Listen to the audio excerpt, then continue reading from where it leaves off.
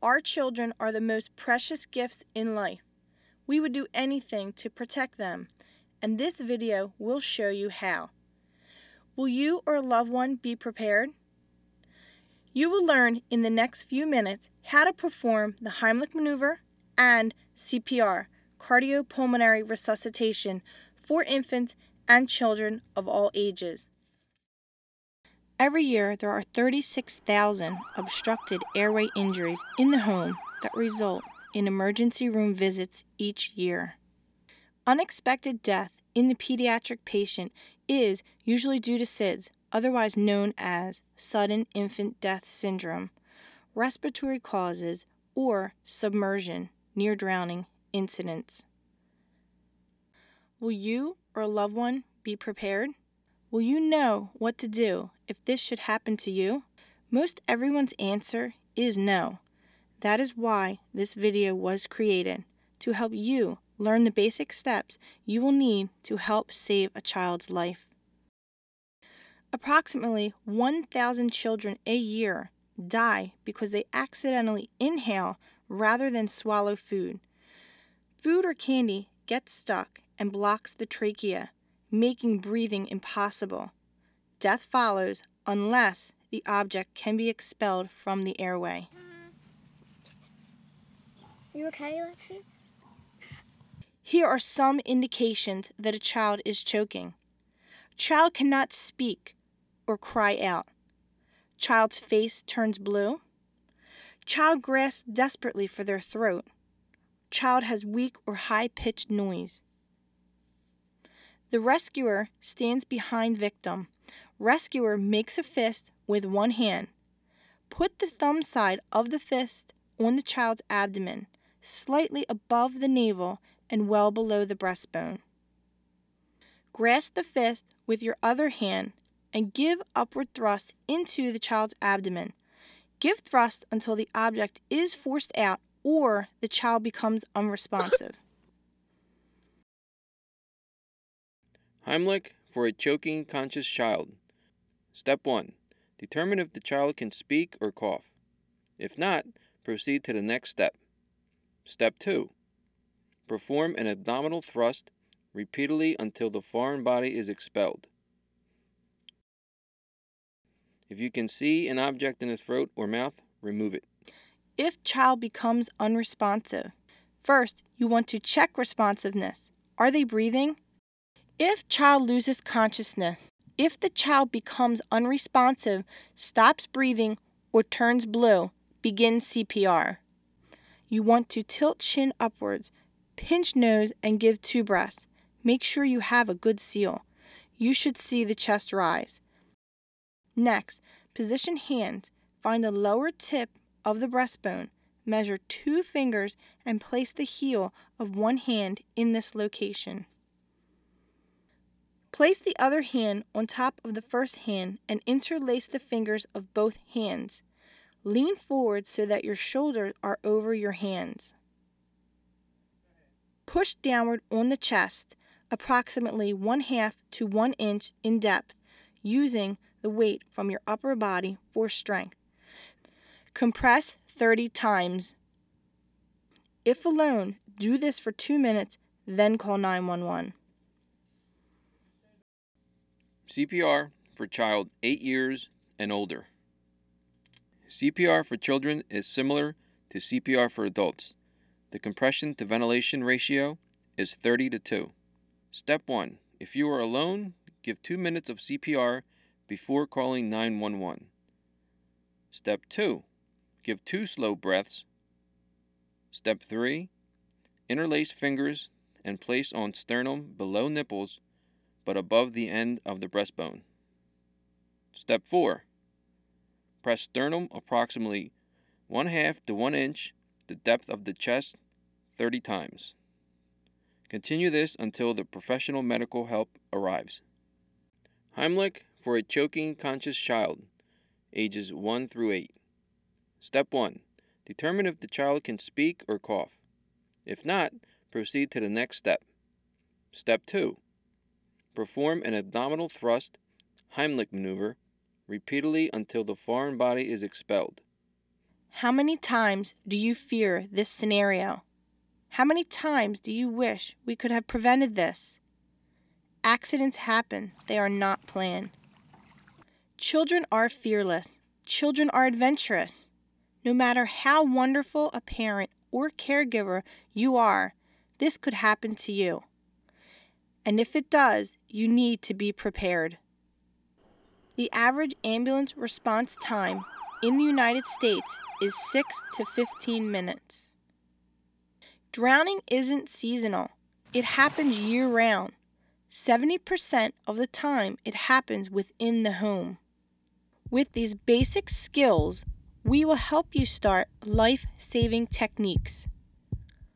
Doing something is better than doing nothing. You do not have to be certified in CPR to administer CPR. In child CPR, the technique is very similar to what we showed you earlier in this video. The only difference is you use the heel of one hand as opposed to two hands. First, you want to check for responsiveness. Tell someone to call 911. If alone, do two minutes of CPR before you call 911. Reason is children's bodies respond much quicker due to their size and weight. Position child on his or her back, being extremely careful not to move or twist spine if neck injury is suspected. If the child becomes unresponsive, stops breathing, or turns blue, begin CPR. Maintain an open airway with chin tilt. Pinch the child's nose shut. Give two long, slow breaths, being sure to maintain a seal between your mouth and theirs. Position hand. Find the lower tip of the breastbone. Measure two finger widths towards the head and place the heel of one hand in this location. Push downward on the chest 30 times. Say to yourself, 1 and 2 and 3 and 4. Repeat these steps until professional medical help arrives. A stopped heart deprives the brain of precious oxygen. CPR, cardiopulmonary resuscitation, helps prolong life while you wait for professional medical assistance. CPR for ages 1 to 8. Step 1. If you are alone, give 2 minutes of CPR, then call 911. Step 2. Give 2 slow breaths. Step 3. Use the heel of one hand placed below nipples but above breastbone. Step 4. Compress the sternum approximately 1 half to 1 inch 30 times. Continue this until professional medical help arrives.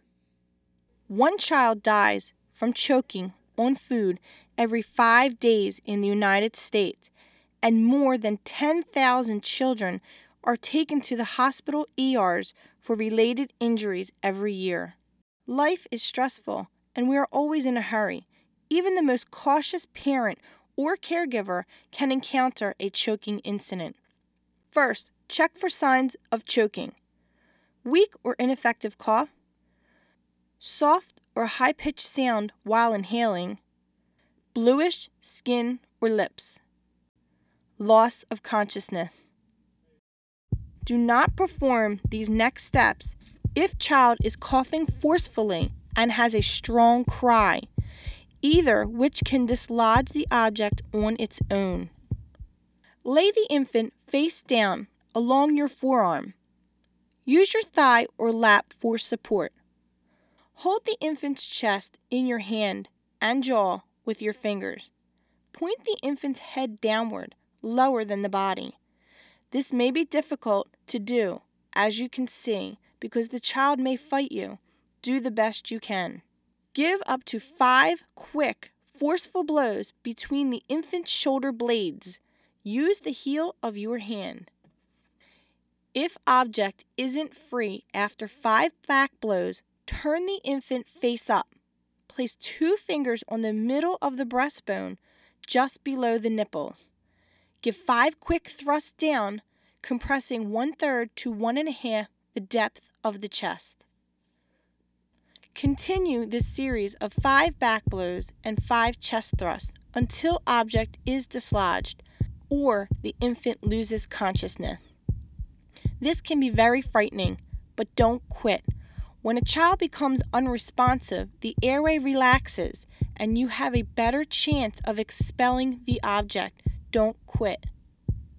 If child loses consciousness, if the child becomes unresponsive, stops breathing, or turns blue, begin CPR. Tilt chin and cover infant's mouth and nose with your mouth. Give two slow, gentle breaths lasting one second with a pause in between. If chest does not rise, reposition head and try again. If still not able to get breaths in, continue chest compressions and back thrusts. If chest rises, place two fingers on the breastbone, just below the nipples. Make sure not to press at the very end of the breastbone. Keep your other hand on the infant's forehead, keeping the head tilted back. Press down on the infant's chest approximately one third to one half the depth of the chest. Give 30 chest compressions. Each time, let the chest rise completely. These compressions should be fast with no pausing. Repeat these steps until professional help arrives. According to generally accepted guidelines, infant CPR is administered to any victim under the age of 12 months. This video was created not to certify anyone in CPR, cardiopulmonary resuscitation, but a crash course to potentially help save a child's life. Doing something is better than doing nothing. If you only retain 20% of a maneuver and apply that to a child in crisis, you have an 80% chance of saving their life. Please, together we can make a difference. It begins with you. Encourage family and friends to order this video today. You can help save a life.